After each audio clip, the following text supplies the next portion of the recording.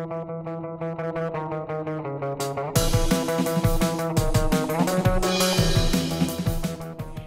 this is Erin, and welcome to Everything EFL.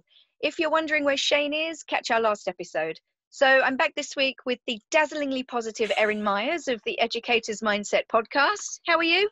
I'm great. Happy to be back again. Good. How's the weather in San Diego? Oh, you know, it's starting to cool down a little bit, so I'm really grateful for that. And, and cool down is like 60 degrees, so it's I know it's not that cold, but I'm I'll take anything I can get. you don't know the meaning of the word cold. I don't. I don't. I totally know that. you don't want to, trust me. Okay, so last week uh, we had so much fun. I thought I'd invite you back for another episode. Uh, you gave some really good tips last week about using Zoom. So I thought that this week we could explore the topic of online learning and you could give some tips, not necessarily technical ones, but how to engage students mm-hmm. and build relationships. Because I think this, just uh, like looking around on Instagram, I think this is something that um, some teachers are struggling with. So yeah. um, can we start by taking us through like your first 10 minutes of class? So what are the typical issues? And i imagine now you've you're experienced enough to overcome them to a certain degree? To a certain degree yes. I mean i think with online learning there are always possibilities of something going wrong or different than you mm-hmm. had planned. Um, flexibility is key and i think that when i think of the first 10 minutes of my class it's really the time that i use to connect with my students. And so with online learning it could take a couple seconds to a couple minutes for students to log in. So I recommend for teachers to have like a five to 10 minute activity where it's just community building because it allows time for students to get logged in and get set up. So for my class, what I like to do, and I actually just gave my students a survey and they like it too. So highly recommend, not myself, but also my students. Um, what I do is I have an agenda slide up displayed for students as they're entering. I have my video on, but my microphone's off because as they're entering, I'm actually taking attendance. On the agenda slide, it has what we're doing for the day. Um, it's really helpful for students who might have anxiety of unknown classes and what to expect. So that really helps. Um, the learning objectives for the class. I have a timer that counts down so they know when class will start. And I also that's have an nice. Yeah, that that's really helpful. Um, and then I also have an attendance question that's really fun. Um, it's not necessarily related to our language and literature class, but just a great way to get to know students. For example? For example, the other day I asked students, and this ranges and it builds as as I get to know them better.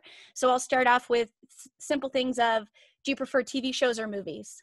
And okay they'll write in the chat TV shows or movies. I just ask them to answer the sim- the question simply um, to get that engagement going. And then what I'll do is I actually have popsicle sticks, which I'll talk about a little bit later in this show.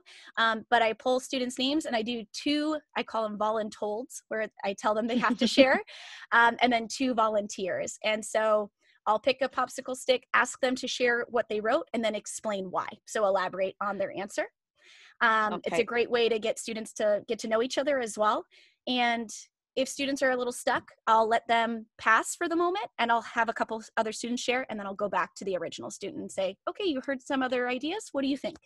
So, okay. Yeah. Do they ever get to, because there could be quite an awkward age there, do they ever get to the point where you could stick them in a breakout room to discuss the question together or does that just not really work? Oh, 100%. And I think I think it just depends on the types of questions you ask. If you're asking more academic questions, that might take a little bit of time for them to build comfortableness and, and get comfortable with that.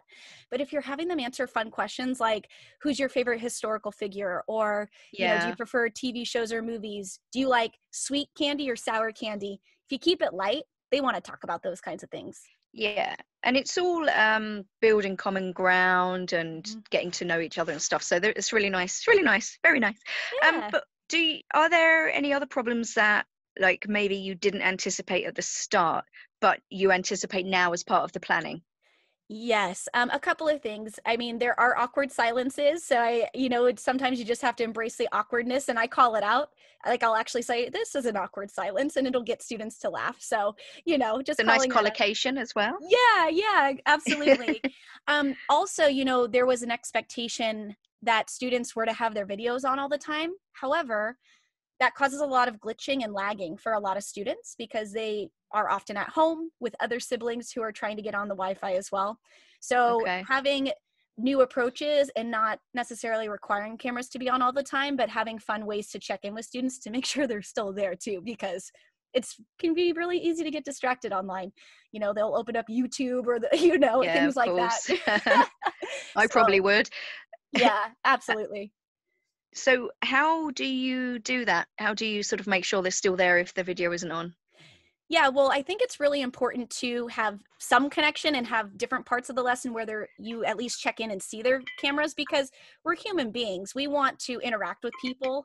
Um, and you and I, for example, it's so wonderful, but I know that we would be able to do so much more if we were actually together in Ireland or in San Diego. And so, what I do is when students come in, I ask them to turn on their camera just so I can wave good morning to them, and then they turn it off. And then I'll do random check ins too, just to make sure they're still there. So I'll say, okay, we're going to take a five minute break and then you're going to come back and we're going to turn cameras on. And so it's just a quick Okay. check in. Um, they all turn them on, wave to each other, and then they can turn them off. My most important um, thing that I do is at the end of class, they have to turn on their cameras to be dismissed because then I can say their names one by one, wave to them, wish them a good day, and things like that. It's not only helpful, but it helps build that community as well. Oh, that's so nice. And I think also turning off the videos gives them a bit of breathing room, and you a bit of breathing room as well. I'd Mhm. imagine because it's, uh, it's um, from what I've heard, it's very very intense teaching online.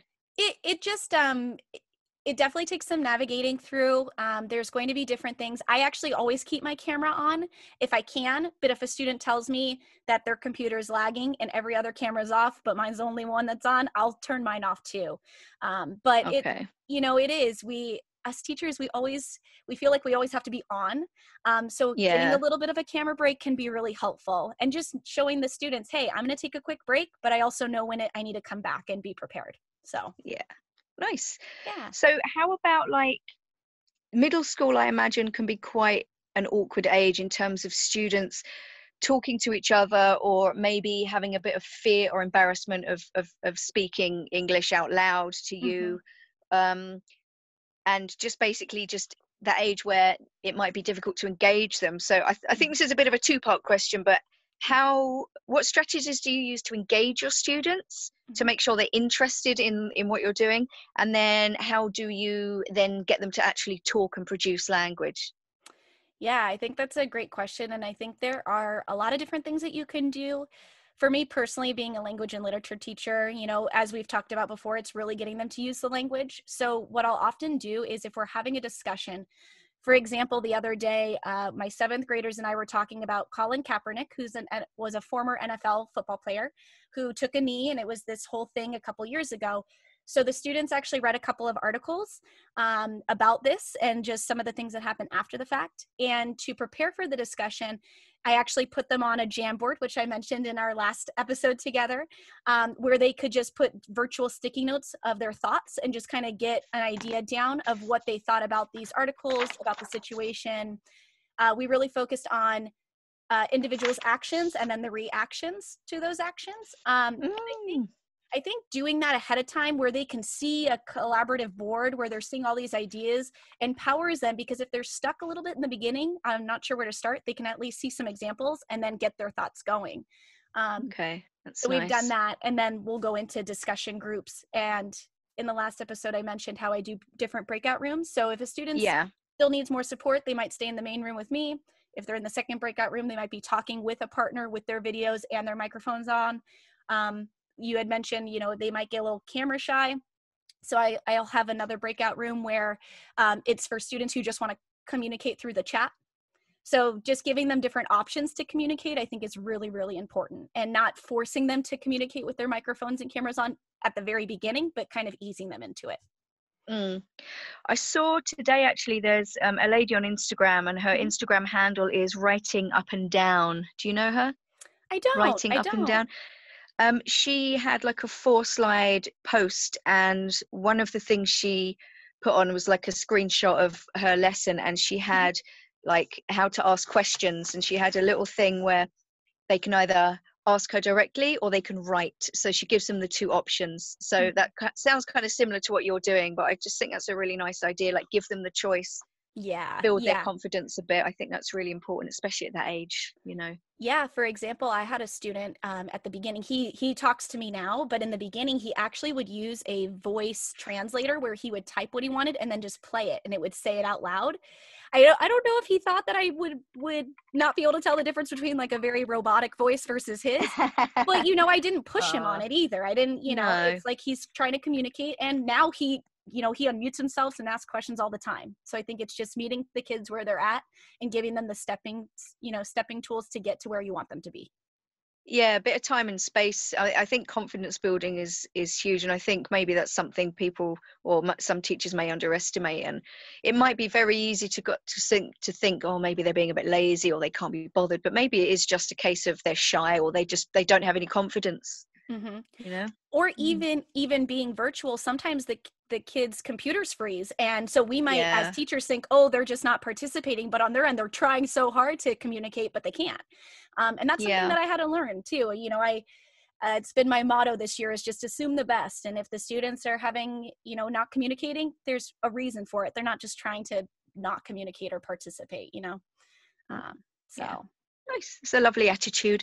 So this kind of leads into because i think this what you've just spoken about and building relationships with students is kind of connected. So what are your top tips for building those relationships with your students? I mean, I think one of the most important things is is using your students' names. Um, I think virtually, even with my attendance, sometimes I can just take attendance and they're coming into the Zoom and I'm not saying good morning because I'm so busy taking attendance. And I think just acknowledging that the kids are there and using their names is like the v- most important thing you can do.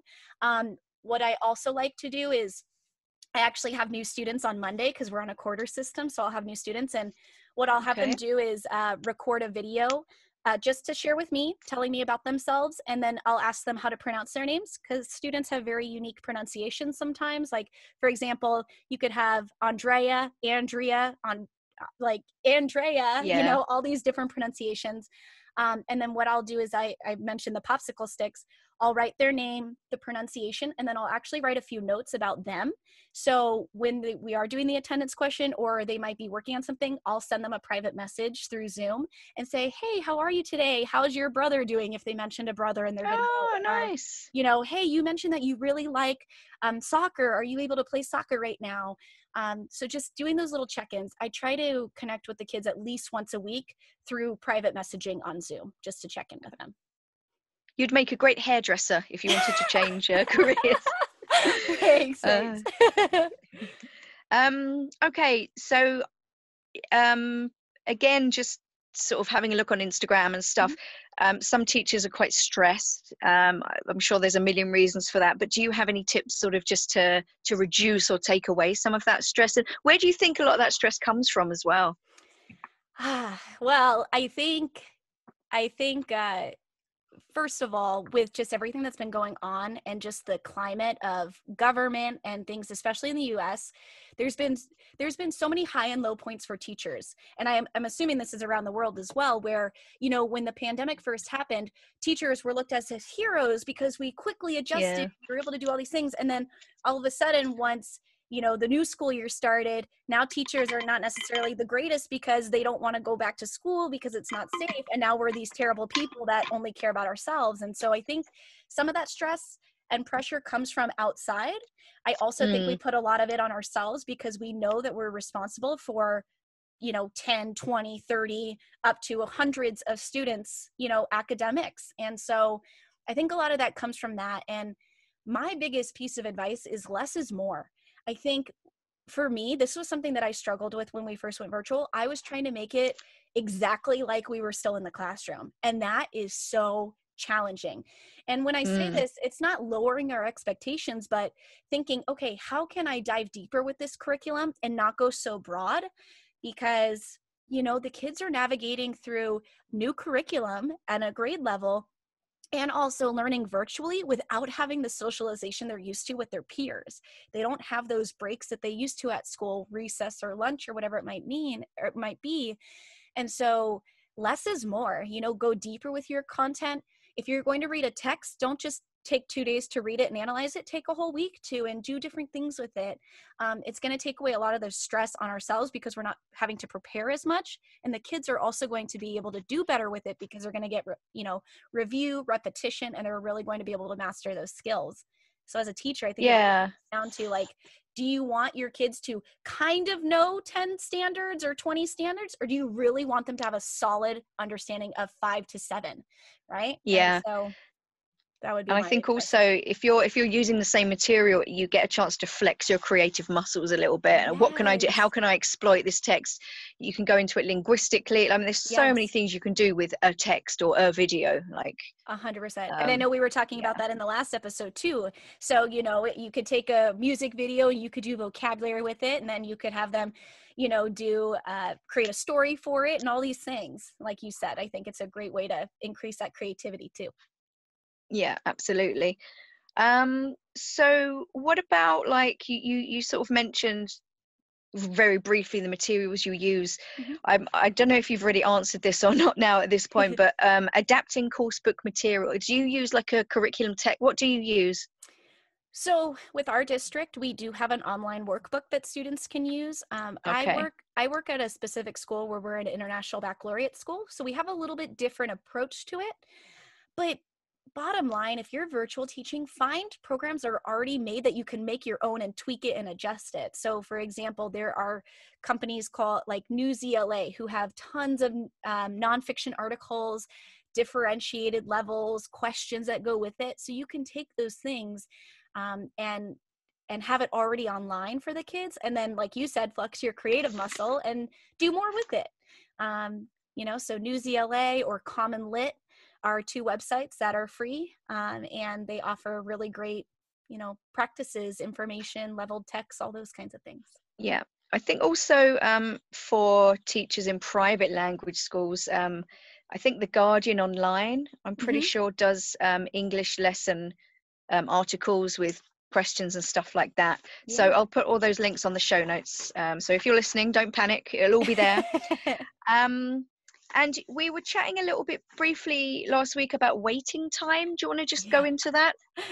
Yeah, I think, and you know, we kind of touched on it a little bit earlier too. Is yeah, you know, waiting time. I think, especially when you're a new teacher, when you're standing in front of the classroom, you know, you might seconds feel like hours, right? Yeah, we always feel like we want to fill in any fill those silences, awkward silences, right? Yeah, um, and you know it's it's we're all learning. For example i was just observed the other day by my assistant principal. She timed my wait time and she's like okay some of your wait times were only about 20 seconds and that's so fast right? So as me as an educator i have to think okay how can i give more wait time because again with virtual it could be computers lagging students just need mm. think time um, so i actually set a, a, an alarm on my watch now for you know a minute or two minutes depending on the question so that it's it really forces me to give more wait time because you know seconds can feel like minutes or hours even and we do need to give students that processing time. Yeah i mean i've been teaching for a long time but i can say i'm, I'm definitely guilty of probably not giving students enough wait time because like you say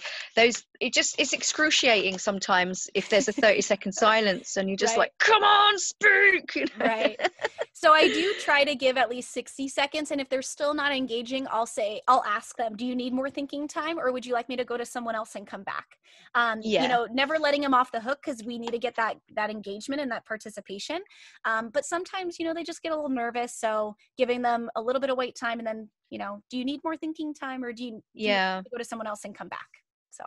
And also they're not always keen on asking for help or saying i don't know yes. you know so sometimes yeah. you at the end you sort of need to go do you, do you, need a hand or do you want somebody else to answer the question or something right. like that but and even yeah. and even doing that sometimes the students still won't ask for help but you do as yeah. much as you can as a teacher right you can't do everything you can't force a kid to ask a question um, yeah but you can just encourage them and, and remind them that you're there for them could they um do you have a capability that allows them to message you like if they don't want to say it they can message you and go, I don't know, or don't want to answer this question. Yeah. Yeah, so the nice thing is is with Zoom and Google Meet there there is a chat feature. I know with Zoom um, they can send private messages as well. And then we also use Google Classroom, which I mentioned in the last episode and we can private comment there as well. So if they're working on assignment on their own, if they have a question, they can actually leave a comment and it will pop up in my email and notify and notify me. So um, Okay. it's definitely a lot uh, lot of Yeah. help.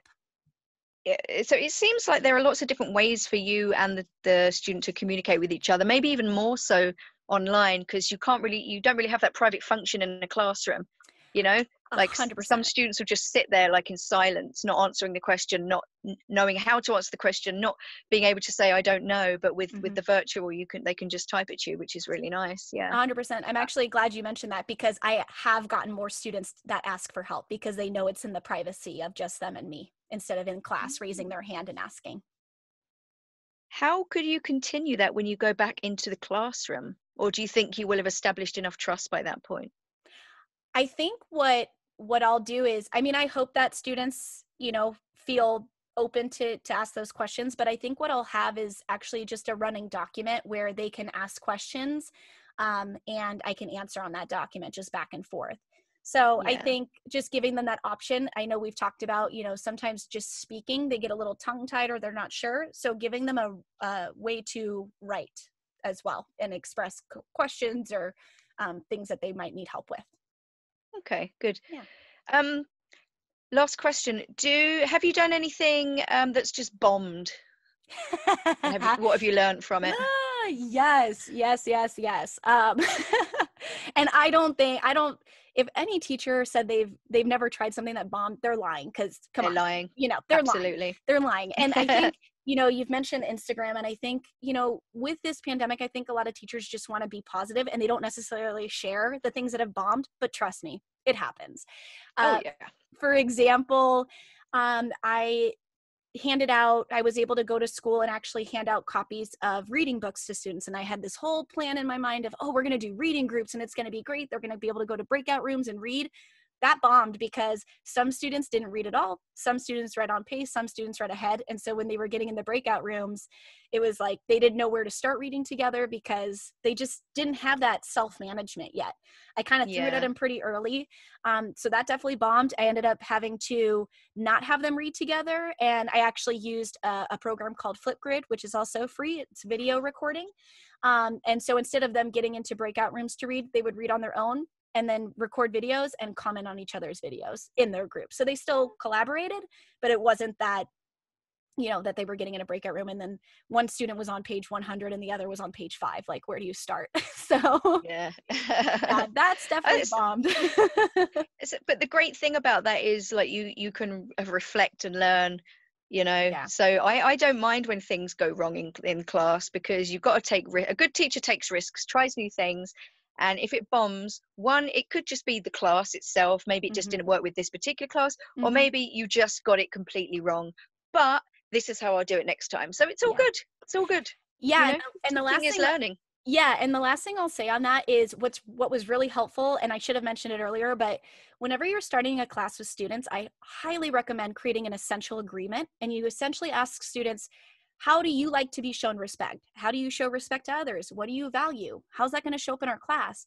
Because, for example, with that bombing of the reading groups, you know, students were not staying uh, we're not staying on track and so i was able to revisit the essential agreement with them and say hey you know you said you told me that you valued this this and this and yet we're not seeing that in reading groups so how can we adjust and making it more of a learning opportunity and being being transparent with the kids in a in you know to a certain degree of things that didn't go well like i told them hey the reading groups are not going very well i realize that i know you see that let's think about what we can do to make it better um you know Oh, that's nice. of the Incorporating them into the reflection is really nice as well. Yeah, that's hundred really nice.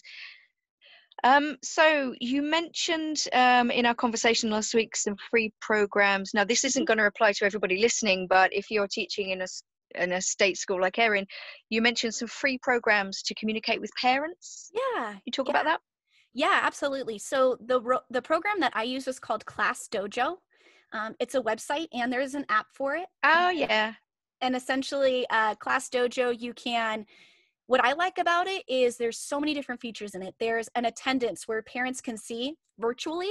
A lot of parents are working, so they don't know if their their student is showing up for virtual meets, but they can get that instant access if they see I marked them absent. That's they can nice. follow up. Um, there are randomizer tools and things like that. There's music on there that you can play for students. But my favorite part about it, uh, two things. One is you can direct message parents. You can get them hooked up to Class Dojo, and the parents can set up what language they want to receive messages in. So I have a lot of parents who speak Ah. Spanish as their first language. So I can send out messages and it automatically will translate into Spanish for them, which is awesome. And vice That's versa. amazing. So if they write me, it'll translate to English for me, which is so That's good. brilliant. That's Yeah. really, really good. Yeah. That's great. And then Wow. the uh, the other thing that I really love is with Class Dojo, um, and this ties into the essential agreement too, is students you can use it for participation. So you can do positive participation points, or you can do negative points if you choose. I know some teachers don't like doing negative points. For our essential agreement, I ask students, "Hey, what do you want to earn? Like, what do you want to work towards? And then, do you want to have points taken away for certain behaviors?" And all my students this past quarter, they all wanted to have points for you know, if you were late and didn't tell the teacher why you were late, you'd lose a point, um, or different things like that. And then, you know, they earn points for participating in the chat or having their video on or doing these things. And the nice thing is, is whenever you give points or you take away points on the app, you can actually put a little note which will send it to parents. So parents can see the points their kids have earned, they can see the points their kids have lost, Mm. and they get um, a notice as to why. So if I took away a point, it could say, um, didn't turn in work, you know, for the day or whatever it might be. That's really nice. It kind of takes a bit of the pressure off of you, um, Mhm. involving the parent. They have to be accountable to them as well, which is nice. Yeah. Good, lovely. We'll stick all of those links on the show notes, guys. Yeah. Um, would you like to plug your pod and tell us Oh. where we can find you on social media? Yeah, yeah, absolutely. And thank you so much again. And if anyone's listening and they are virtual teaching right now, please don't hesitate to reach out. I'm here just sharing what I've learned over the past couple months. I'm by no means an expert, but I'm sharing what I know, right? So you can find me on Instagram, um, Erin Myers uh, with a dot in between. So Erin.Myers. Um, and I also have a podcast called the Educators Mindset Podcast, which I've been so blessed to have you, Erin, on my podcast as well. Um, and so I just think, you know, us teachers always have to stick together, and especially through the pandemic, you know, sharing all Absolutely. that we can. And you've shared some really really nice tips today. I'm, I'm really happy i did this episode. I've been wanting to do something like this for a while because like i said i don't know. So you know it's nice to have someone who has some really nice ideas really like just engaging ideas. Like it's so important to you know build those relationships with your students and stuff. So thank you once again. Mhm. um and please like share and follow everything efl on instagram facebook or twitter Find the link to the podcast on our social media bios and listen on Spotify, Anchor, wherever. And don't forget to tell your colleagues, share the love. Bye. yeah, thank you. Bye.